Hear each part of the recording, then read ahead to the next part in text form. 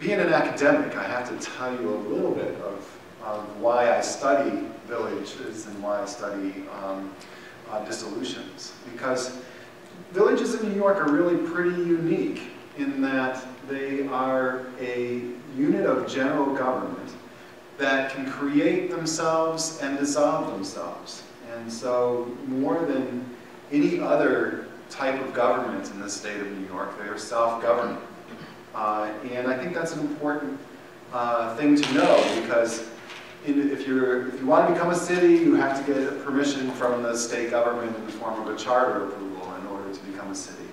Um, towns are the kind of the default. If you're not a city, you're not a village, you're in a town. Um, villages are formed from towns and they dissolve back into towns. Uh, there are over 550 villages in the state of New York right now, give or take a few. Um, and back in 2010, the uh, state passed the New York Government Reorganization and Citizen Power Empowerment Act. And what that does is it, it changed the dissolution process, uh, and I wanted to just go through that a little bit so that people can understand a little bit of how it works. now, consolidation, we'll hear some discussion about consolidation, and that requires the approval of the voters in both jurisdictions that are being dissolved or being uh, consolidated. So for example, if, um, if the town of Vestal wanted to become one government with the city of Binghamton, then the residents of Vestal and the residents of Binghamton would have to vote. Uh, and both of those jurisdictions would have to have a majority vote approving this, uh, the, this, um, the consolidation. Now, in contrast, dissolution requires the approval of the voters only of the unit being dissolved. So villages always dissolve into the towns from which they came, and a village dissolution vote had the, the town residents outside of the village have no say if the village um, dissolves or not. So town residents will be very interested in what happens when a village considers a dissolution, but they don't have any vote uh, in the matter uh, that proceeds. Now there are two different routes that the law sets out for, um, for dissolution. And the first route can be um, taken by the governing board. So in this case, a village board could pass a resolution and um, the, the village board, would, the resolution would say we uh, resolve to uh, put a, a referendum for village dissolution on the ballot. And then the board prepares a plan. Um, and the plan requires looking at all of the services, all of the um, assets of the village, all the debt of the village, everything related to the village, and, um, and determines if the village dissolves, what happens to all of these uh, uh, goods and services. Then um, public hearings are held, and after the public hearings are held, there's a, a referendum, a vote. And that can either take place as a special referendum, or it can take place as a um, part of a, a general municipal election. And if a majority of the residents of the village support dissolution, um, then the village ceases to exist as an entity. Uh, the, uh, and that means the assets of the village go into the town. Um, the employees of the village may or may not um, be, uh, be hired by the town. The services that the village provides may or may not be provided by the town. Um, all of that's laid out in the plan, um, but it's up to the town board then to determine how much of the plan will be followed. So the second way that a uh, dissolution can take place is that citizens themselves can initiate a petition drive.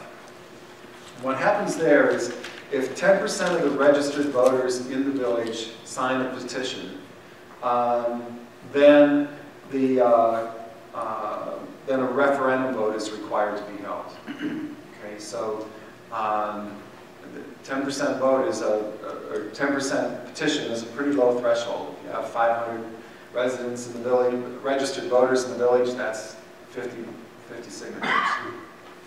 Um, and then, if the referendum vote passes, then the um, village board uh, and the town board has to have a plan prepared. And that plan then uh, also has public hearings. But here's the difference. After the hearings, the consolidation plan is going to take place. Unless 25% of the eligible voters say, wait a second, we want a second vote on the planned um, dissolution. And so then a second referendum would be held, and a majority of the voters would have to pass the, the planned dissolution. So in a sense, there's kind of like, the first vote is, um, we think there ought to be a dissolution, um, and that launches the development of the plan and the public hearings, but then the plan will be implemented unless there's a second petition drive and a second vote saying, we, we changed our mind, we've looked at the plan, we don't want to do that. So in that case, if it's a citizen-initiated referendum, the default will be that there will be a dissolution unless they have, unless the citizens launch a second drive and have a second dissolution vote. Okay. So one of the things to keep in mind is that a citizen-initiated referendum vote um, really kind of sets the ball rolling for a dissolution um, unless they turn around later and, and change their mind. Now, there are a couple of really critical questions um, that a dissolution plan has to consider. Uh, and the first one is, how many savings can be expected? And one of the things that happens uh, a lot of times in dissolutions is uh, residents in the village know that that they pay property taxes and that um, goes to both the, the town and, and the village. And so they, they have this thought in mind that they will save a lot of money if they dissolve the village. But usually, village taxes are a fraction of the taxes that, the property taxes that any resident pays. So um, you know, the bulk of your property taxes go to your school district. Another good chunk of your property taxes go to your county. Um, and so even with the dissolution of the village, your overall property tax bill may not decline that much. Um, and a lot depends then on what kinds of services you want to continue and how you want to continue those. Um, a few years ago, I was part of the uh, dissolution study uh, committee um, when the village of Johnson City was considering a dissolution. And one of the uh, things that that committee set out to do was to try and maintain the same types and levels of services for the village after dissolution as before the dissolution. So Johnson City has a paid police department, so there was um, discussion about how to maintain police services. Um, Johnson City has a paid fire department, and so there was there were issues about um, how the fire department, how the fire services would be provided. Um, and so the plan that uh, that was produced did have um, changes and cuts in those services, but there wasn't a total elimination of those. Um, for example, the um, uh, police services that are provided in the town of Union that the village would have dissolved into um, are provided by the county sheriff's department and the um, state police department. If the village of Johnson City had dissolved, there was an agreement to have the uh, sheriff's department increase its patrols and staffing in the village, but it wouldn't have been at the same level that the, uh, uh, the village had prior to that dissolution vote. And those kinds of issues get to be really emotional. Um, and um, you know, that's one of the things that I would, I would caution uh, anyone who's considering one of these processes is that uh, it often sets neighbors against neighbors in ways that um, can, can really um, cause long-lasting hard feelings. Um, and the votes are often close, Um, and, uh, and those take some time to, to recover from in, in the community. So in order to address that as you go into a process, I think everyone involved needs to act in good faith and say, we just want to get the facts, we want to, we want to make the best plan we can, we want to be as open and transparent about the process as we can be. Um, we want to get a lot of input from people about what the mix of, of services will be afterwards. There needs to be a lot of discussion between the town and the village and a lot of confidence that the town will implement the plan that the village puts together. Um, and then the, uh, the outcome hopefully would be something that, that a majority of the residents of the community can feel comfortable with. Um, so that, I think, with, with, that I'll stop because I want to leave time for, questions and also for the other panelists. Uh, but again, let me just thank you all for uh, taking the time to be here tonight and to, uh, to, to, listen to the discussion. And uh, I hope that uh, it will be useful for you. Just jump in.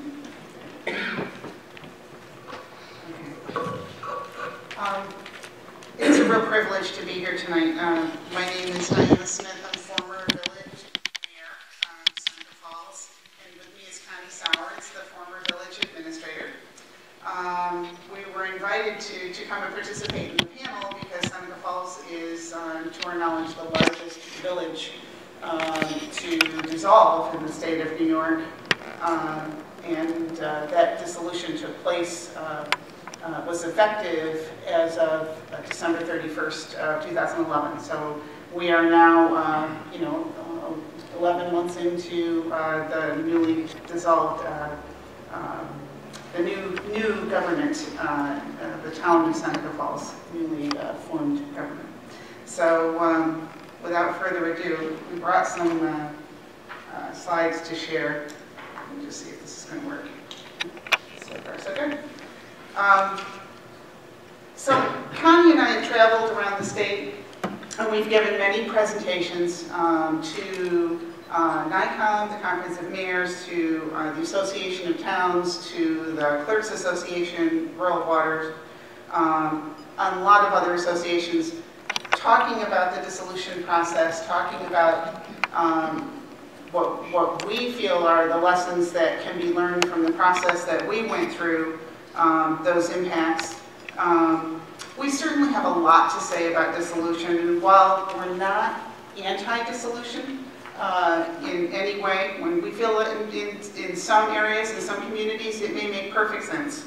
Um, but we, we maintain a certain um, uh, uh, emphatic insistence that local governments are uh, tremendously valuable and that uh, there's a certain passion that we have about local government.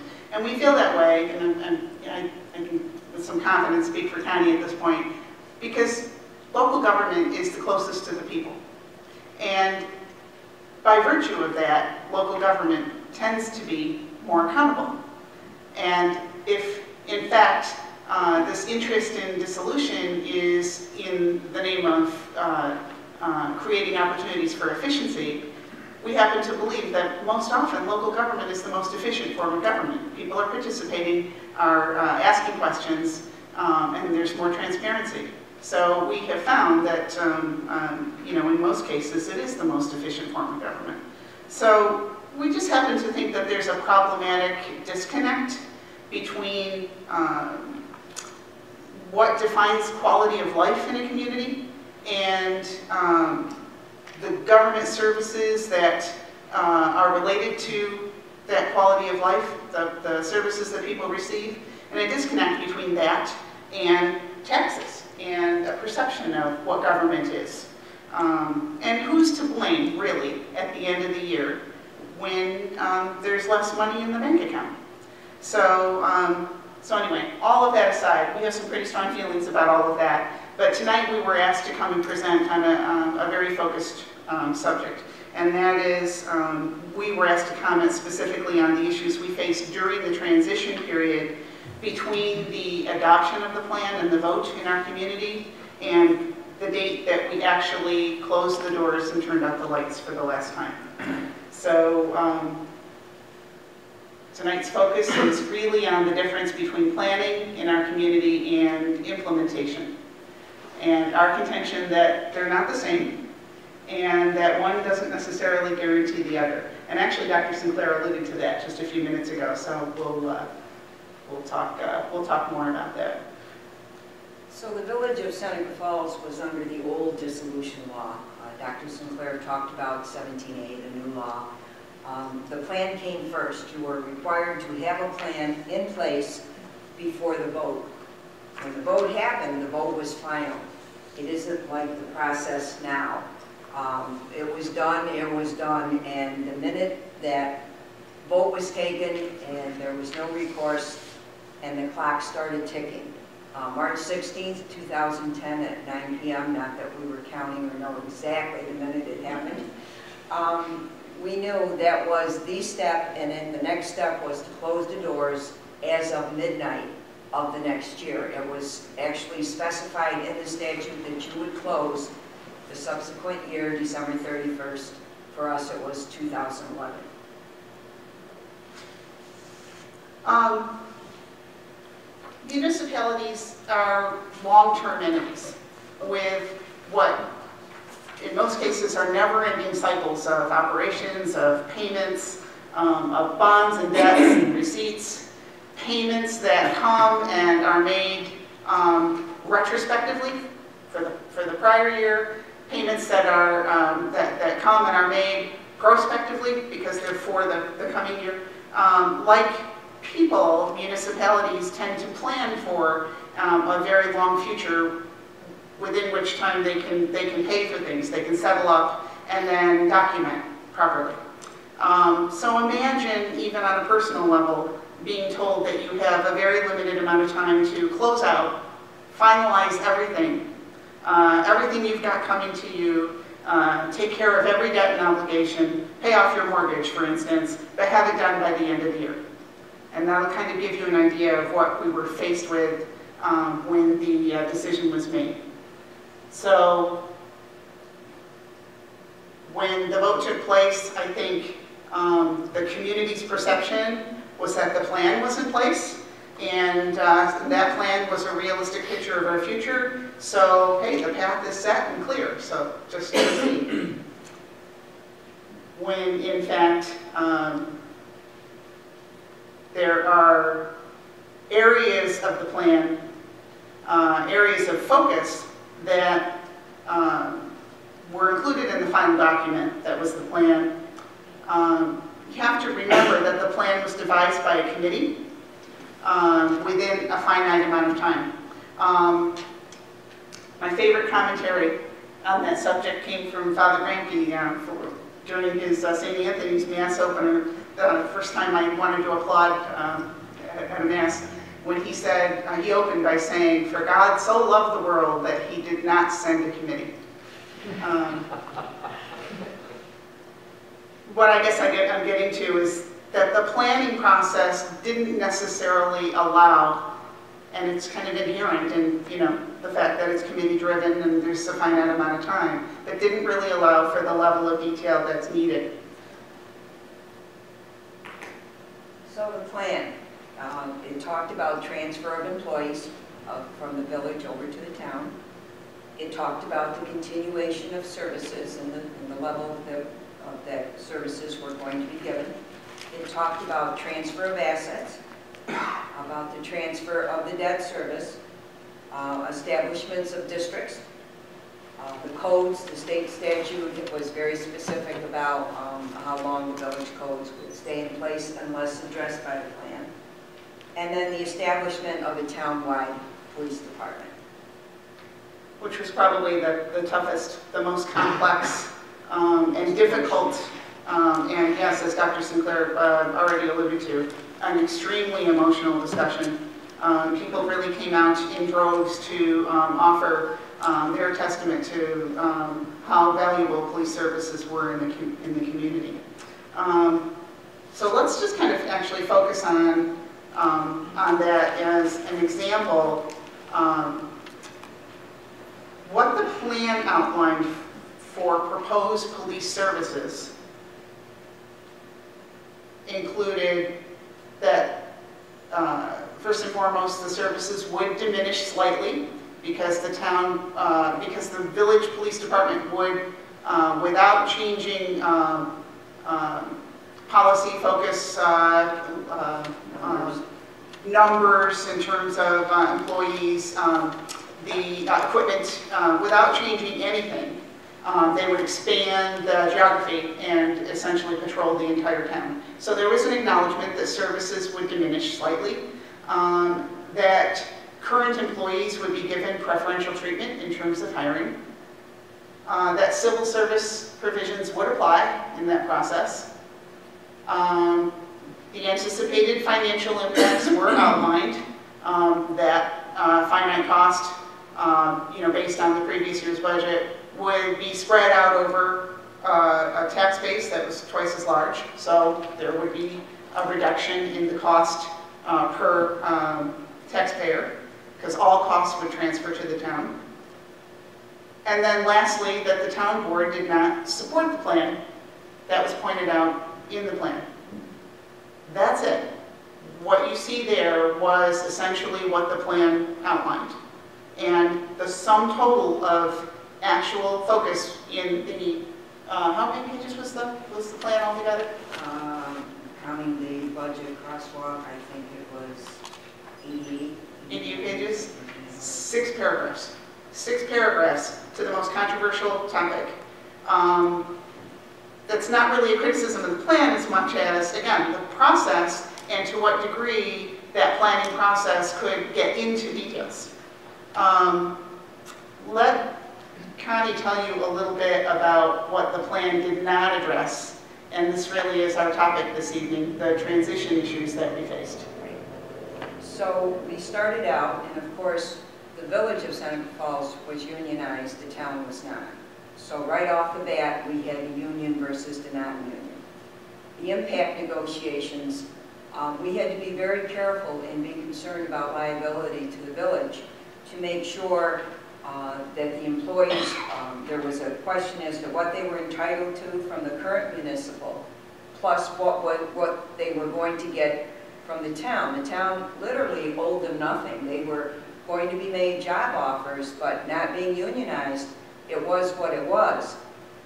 We were forced to go into impact negotiations, which were never addressed in the plan, because for many, many years, as all of you that have ever been involved with contract negotiations, each side comes to the table, we came to the table and we, uh, part of our advantage and part of what we were giving to them was um, that they would have a retirement, they would have health insurance benefits post-retirement, they would have all of the um, benefits of that, and then when the village was going to dissolve, suddenly, the town literally owed them nothing.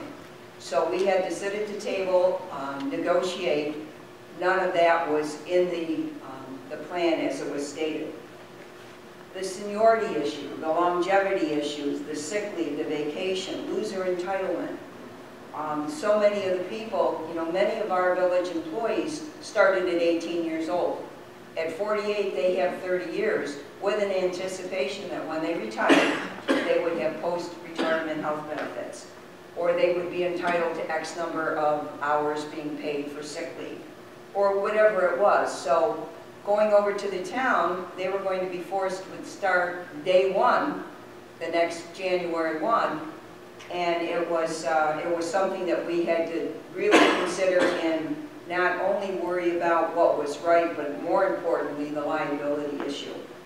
The 41J, if you're not familiar with that, there's, um, within New York State retirement, municipalities can pay a certain percent of their retirement cost every year. And it's a benefit that the employees can then continue to bank, if you will, the sick leave that they're accruing. And after they retire, they can take that and put it towards the seniority and have extra months. Well, many of the employees took that to the bank. That was the sick leave that they were building up when they were going to go over January 1, that was going to be gone. That was never addressed and had to be worked out with the, with the union on both issues. The post-retirement benefits, um, the sick leave was huge, the health benefits was just huge to people. Um, As you know, I mean, you know what health insurance costs today.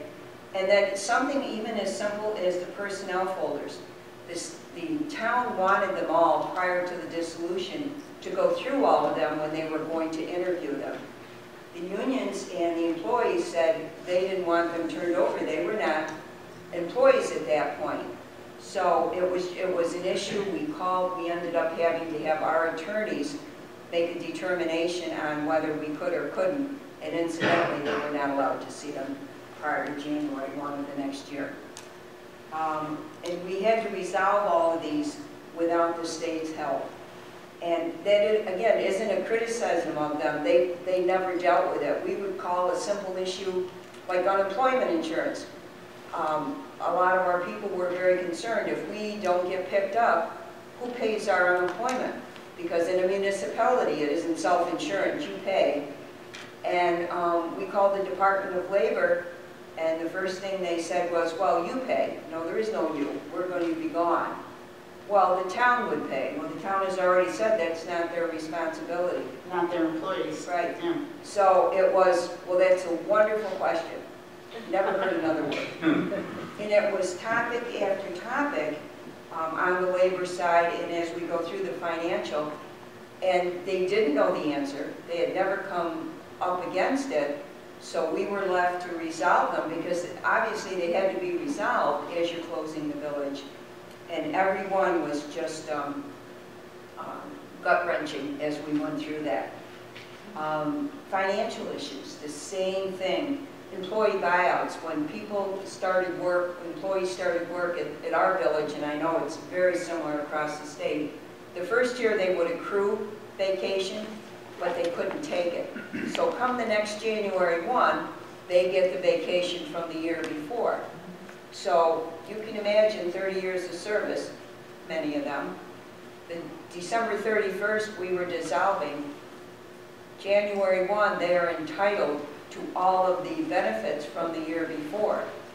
We had to put that into our shortened last year and have the taxpayers pay that amount, and it was $286,000 for a village our size. And, um, and again, never addressed, never put in for any of the budgets or, you know, what was staying, what was the cost of dissolving. Nobody thought of it at that time. Um, shortened budget year, you know, we would, we called the state and said, you know, we got our New York State retirement bill. Called them and said, this is a 12-month bill. Um, would you send us a new bill because we're only going to be here seven months? Well, we can't do that. Well, we can't pay a 12-month bill. Well, you have to. No, we're not going to be there. We'll get back to you. Never got back to us, and we did the 7/12 deal and paid what we thought was fair because we were only there seven months. Capital reserves, you know, there's, a- we had capital reserves for many of the functions. Um, Never addressed in the plan, weren't quite sure how to handle them. A lot of our board and residents wanted them drawn down, put back into the fund from where they came, and then used for debt service. Um, Really had no legal, weren't quite sure, again, had to pay legal fees to find out, and we get a determination. Uh, We talked about the unemployment. What should current village residents pay for versus what should roll over to the town, you know? Question after question. The grant wall rose, we had ongoing grants, weren't sure, you know, what do we do with them? All of a sudden, you know how long grants take to finalize. Um, We had to go back through to each one, have the state take over with a new title page, and have the town of Seneca Falls do it. Um, The state aid, we called on the CHIPS. CHIPS is the Consolidated Highway. We weren't sure if it was based on 12 months or miles. So we called and we said, we, you know, we don't know what to put in our budget for the revenue la- last year. Do we take 7 twelfths of it, or is it in fact based on miles?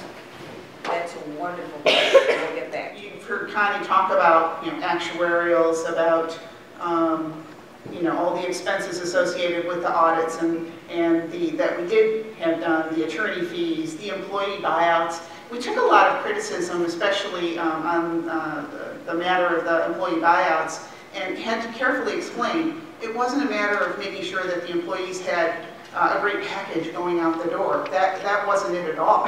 We wanted to make sure that um, when, um, for years and years in contract negotiations, for example, uh, these benefits were expected, and they, they had a reasonable right to expect these benefits, and a legal right to expect these benefits, and then suddenly the benefits disappear. Is there a liability that's left for the village residents? And, oh, by the way, we found out during this period of time that there was going to be a debt district that was going to be left behind that the village response, village, uh, former village residents would be responsible um, to, uh, you know, to, to make annual uh, payments, if you will, for any outstanding liabilities. We wanted to make sure that there were as few potential liabilities or, you know, eliminate as many as we could possibly eliminate. And any rights that were, um, you know, denied to employees, well, that's, that's a potential liability. So we, we were trying to tie up every uh, loose end, every financial uh, obligation every loose end that we could possibly tie up during that period of time. Um, and those are all hidden costs. You know, Connie mentioned it was, uh, uh, you know, what, close to a quarter of a million dollars in just the, uh, the buyouts uh, for, uh, you know, for those employees.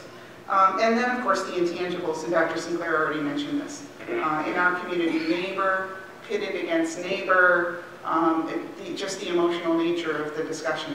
And to this day, there are certain people who still won't talk to other people. That's a really unfortunate thing. We're a very close-knit community. And, uh, you know, the, the traditions are, um, you know, are strong. And, uh, and it really is unfortunate to see, um, you know, that kind of devastation being brought. So those are, those are all things to be considered. And then ultimately, after all the dust settles, I mean, we've, we've talked to you a lot about the, um, the responsibilities, the tasks, if you will, that the village took on. We're only talking about the village's end of things. After all the dust settles, who's left holding the bag and who has to literally um, pick up and, and, and learn how to provide all the services, um, pick up all the expense for the services, who's left holding the bag? It's the town board who now suddenly is responsible for a whole host of, uh, of things that they've never been responsible for before. So um, it, it really is um, a tremendously complex and burdensome issue. Um, The Village of Seneca Falls dissolved on December 31st, 2011. Our staff walked out the door about 11 o'clock New Year's Eve. Um, Locked the doors, and uh, as far as the fiscal impact, the jury's still out on the dissolution. It really takes some time, at least at one full year, to be able to look at the financials and to see um, just where we are and, uh, and uh, possibly do an analysis against the plan. But at this point, you know, you can do all the analysis you want. It, it's a done deal, and uh, it is what it is. And I think, um, you know, the, the, the critical parts of the discussion, um, the plan did really um, attempt to address um, what services are going to continue. Um, at what level will the services continue, if they're going to continue? And then what are the financial impacts? Those are all, you know, those critical questions. But Dr. Sinclair already uh, hit, I think, what is the most um, important um, piece of information that everyone understands, you know, entering into this discussion, that it is completely, entirely up to the town board to determine how much of a plan will actually be followed. They're not bound to it. And um, in, in our case, um, you know, there's a tremendous amount that, um, that differs. There's a, tremendous uh, uh, number of issues that the plan addressed that the town board chose not to, to follow. So uh, they follow the recommendations of the plan. So, um, um, you know, again, I, I just think that's really central to the discussion. So we, we certainly appreciate being able to um, participate. We, we thank Mayor Millar and Joanne um, from Binghamton University for creating this forum. Um, We certainly feel that if we can help other communities avoid some of the problems that we faced in Seneca Falls, then um, um, that means that perhaps something good can come out of our experience. So um, thank you for the chance to, to share that. Dr. Hattery? Hello. I plan to go a long time now. Just kidding. Um, we've been talking about consolidation, and dissolution largely. And I'm going to talk a little bit for a few minutes about, from a citizen's perspective, uh, some, some ways in which consolidation and dissolution may be a meat axe when a scalpel is needed. Um, and let me start out by asking this. I think as a citizen, oftentimes may, we may have concern, something that's bothering us about a government that serves us. And um, we may have even taken some steps to engage. And I think it's really important that we say, what's my problem or concern, and what's the best strategy to address it? Um, I've met with different communities over the years, and I mean, the number one is, I probably could ask you to say this and you'd say it in unison. And that is taxes are too high and we can't afford it. Um, and again, I'm going to ask you, I'm not going to repeat this mantra, but that isn't necessarily going to be addressed by consolidation or dissolution. Okay? Um, another one that often is heard is the town, in this, in the case of a village like this, the town or the town and the village together can provide this service more efficiently than the way it's currently being provided. And I'm not going to repeat the mantra, but it isn't necessarily the best approach to think of consolidation or dissolution. Something in my government needs to change. I, I met with a group late one night over by the Hudson River, a group of citizens that were upset. And one of the big concerns that was shared by a number of them is the village had a treasurer that was just making three to four times what a typical treasurer's salary in the rest of the county. And they were proposing to dissolve the village as a way of addressing that problem. Again, I, sometimes we need a scalpel instead of a meat axe. And then, you know, I think sometimes it's daunting as a citizen to say, how are we going to change that? But as um, uh, folks from Seneca Falls have described, there's a lot of bigger problems when you get into looking at dissolution and or consolidation. Um, another one that I think drives a lot of people's thinking, even though it may be underneath the tax, taxes are too high, and that is we need economic development that provides more job opportunities and better job opportunities. And the need axe is to get rid of a local government as opposed to saying, how can we uh, do other things to help address our tax burden to um, uh, address that underlying theme of we'd like to see some different kinds of development and new jobs come to the area. The one that I think definitely happens in some places, and that is that village government's no longer needed. Um, there's no core purpose that's different. Our services are the same as the town outside us. Um, we're having trouble finding enough people to run for office. Um, you know, there's a whole range of things that say we're really not that much different than the, than the government around us. And I think that's the one in this list that I would say, you know, that's when consolidation or dissolution is really uh, a strong uh, solution to be looked at in the mix. Um, now let me advocate a little bit for one other alternative that we haven't talked about tonight that is done a lot all over the place, and that is why consider why not consider service sharing or service by contract as an alternative to eliminating a unity government. Let me say why that's a good option. It has broad-based legal authority in New York. Um, under Article 5G of the General Municipal Law, anything that two governments can do individually, they can do together. Um, so there's, there's a broad-based authority for governments to work together to provide a particular service or activity. Um, follow the dollars. It's where the bulk of savings are. Um, 90 to 95% of the cost of local government are items that can be addressed either through service consolidation or administrative sharing. Three, there's more practical examples. I think they were, they mentioned earlier that Seneca Falls is the largest uh, village dissolution, at least in 25 or 30 years. I can't remember if Tioga was close to you in population, or Ticonderoga.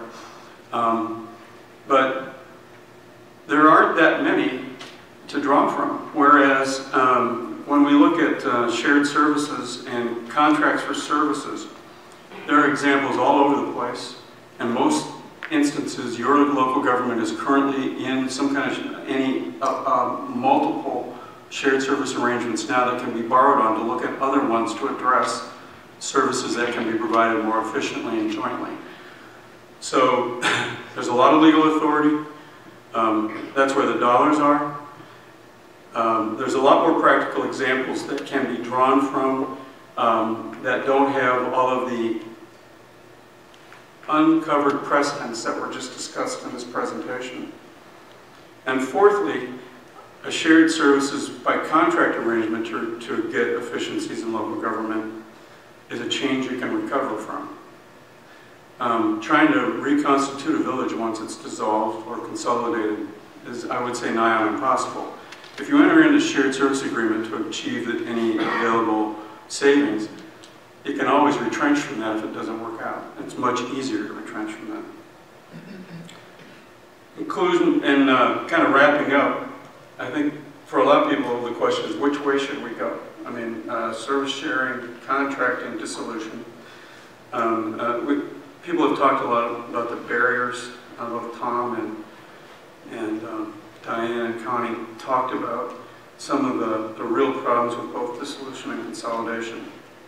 And I would point you back to asking the question, um, what is the problem that we perceive? What's the problem we're trying to address?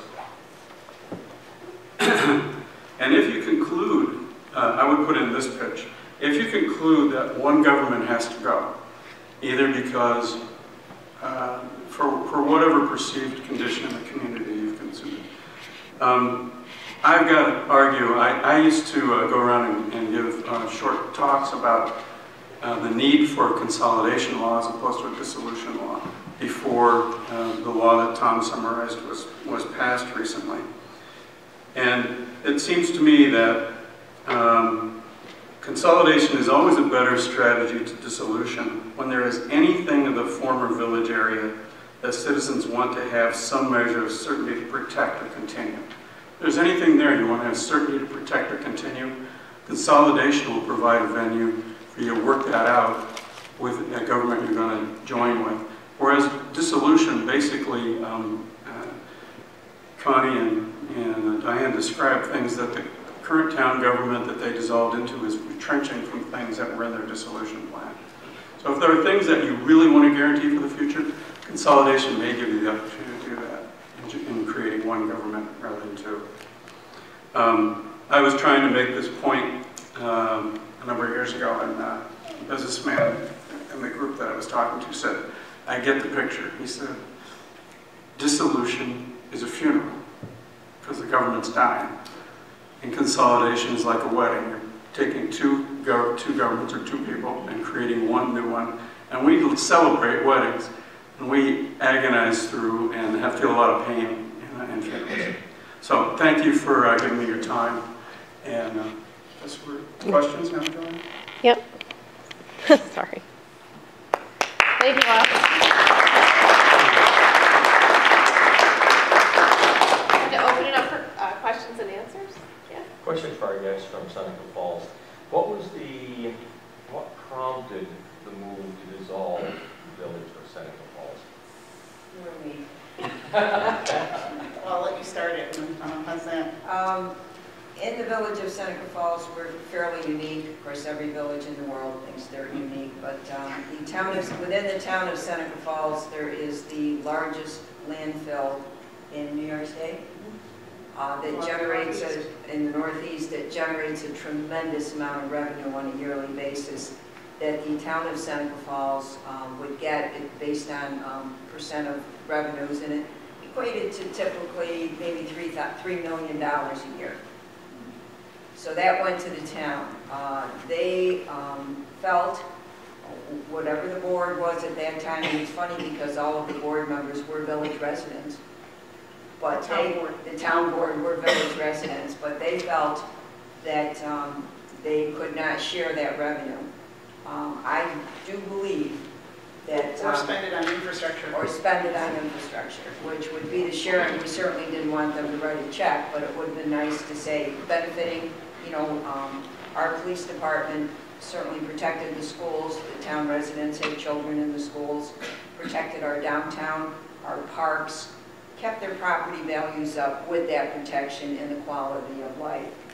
Um, But yet, a few feet outside of that village line, the town uh, paid absolutely no dollars at all for police protection. Well, they paid no town tax either. Right. So the, the sense that there was disparity uh, was tremendous. People inside the village paid a high rate of tax. No, I won't, I mean, I, that's a safe statement because I- I've never met anybody yet who said their taxes were too low. Um, But, the- you know, but inside the village, a high tax rate, all those services were being funded by those residents. People, out- you step over the line, as Connie said, and the tax rate outside the village, the town tax rate was zero because of that landfill re- revenue. It generated about $3 million a year. So, you know, the, the sense of, uh, you know, uh, inequity was tremendous. People felt how, okay, how can, how can we share in what they felt truly, that they were town residents as well. Um, We had a shared services study done, but, you know, Yeah, We actually initiated that in the hopes that there would be um, um, an argument built to, um, you know, let's, let's get together, let's use the landfill revenue, let's, let's, let's actually underwrite infrastructure, let's share, you know, these expenses, and it immediately turned into a a discussion. no-brainer, you know, as they said. And then, and then, as we said earlier, the train left the station. They recommended dissolution, at least to look at it. You know, it was always study it, take a look at it.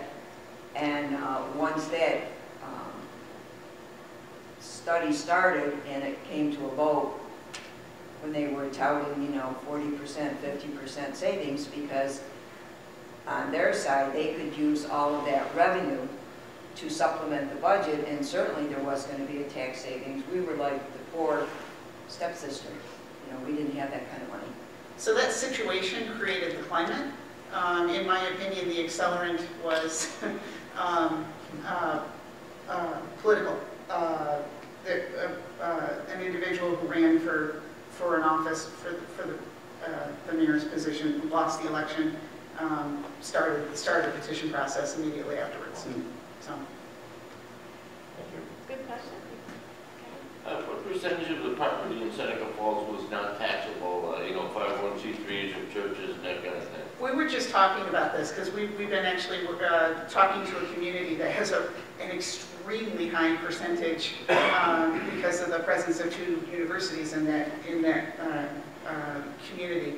And literally, they have a a 73% Oh, uh, uh, you know, uh, untaxed, uh, uh, amount of untaxed property, we're, we're blown away by that. Um, But we talked in the car about the fact that I don't know. uh, I don't know. Some, we have several not-for-profits in the community, but we had never actually uh, sat down and and calculated how much. It's low, I would, I would venture By to say comparison- low compared to anybody with a county seat, you know, anybody, their, theirs is going to be much higher than ours was. Yeah, you must be uh, tremendously impacted here with being the county seat. Lyons, by the same token, Lyons. in Wayne County is the county seat, and their rate is about 38%. So, um, that, that's tough. That's a tough challenge. Just a comment and question. Uh, Very much agree with Diana in your opening statement about local government and the gentleman on the end, I think shared services is a much better approach. But I know that, um, if I remember correctly, because I saw you at Association of Towns last year, um, the population of the village was much heavier than the town. And uh, and here in our town, it's flipped. I'm wondering if that would have an impact, if you would have an impact on uh, what it would be different. You know, it's funny because while we were seventy-three percent of the town, when, when you look at the actual tax base, it's almost equal. It's 50/50, Because 46, the, 54. the properties outside of the village um, are uh, assessed higher And so it ended up being, um, they were 54% in the tax base. So what that did, obviously, even though there were many more people in the village, is that instead of a cost savings, it- it truly was a cost shift. You have almost twice as much tax base to spread those costs out. There? Oh, yeah, absolutely. Yes, sir. Right at the beginning, you said that the town was not in favor of this. Uh, Do you think that the ride that you experienced would have been less rocky if the town had been more cooperative? And the reason I ask that question is that I think human nature is such as it is, that towns often uh, want to develop their own little fiefdoms and, uh, and, and then stonewall any, any attempt to change the status quo that's an opinion, but in answer to your question, would it have been easier if the town had been cooperative? Um, When we first put together our study committee, um, followed the statute, you know, had have uh, uh, two members from the, the, you know, the town. Um, um, We established a nine-member committee. We asked the town supervisor to, um, to participate. Um, There was some concern that, um, that no elected officials be actually part of the committee or be voting members of the committee. Uh, So Connie and I participated as informational resource um, And, but the town supervisor participated, and, you know, we, we pretty much insisted on it because we sort of recognized going into it that the town board was going to be um, a, a major player. I think we didn't realize until, um, you know, things were coming to their conclusion that um, in some regards, the town board's the only player. Um, But, um, but yeah, it- the town supervisor was very um, um, actively uh, uh, participating in the decision-making throughout the whole process with the committee. So I, you know, I I don't, I don't know that there was a a reluctance to, you know, to embrace any of the concepts that were being discussed. But he's, he was one of five people.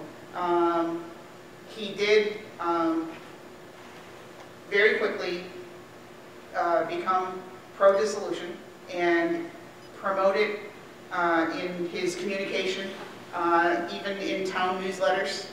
Um, And uh, ultimately uh, was not reelected last November, um, not this past election, but the prior, right before dissolution well, was implement, was, uh, it became effective on uh, January 1st.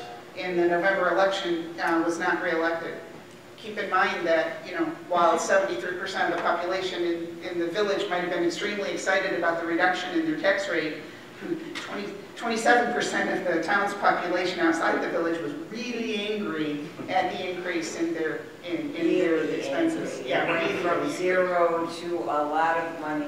yeah, and nothing drives people to, um, you know, become politically active, um, you know, uh, like, uh, like feeling like the, they've been wronged.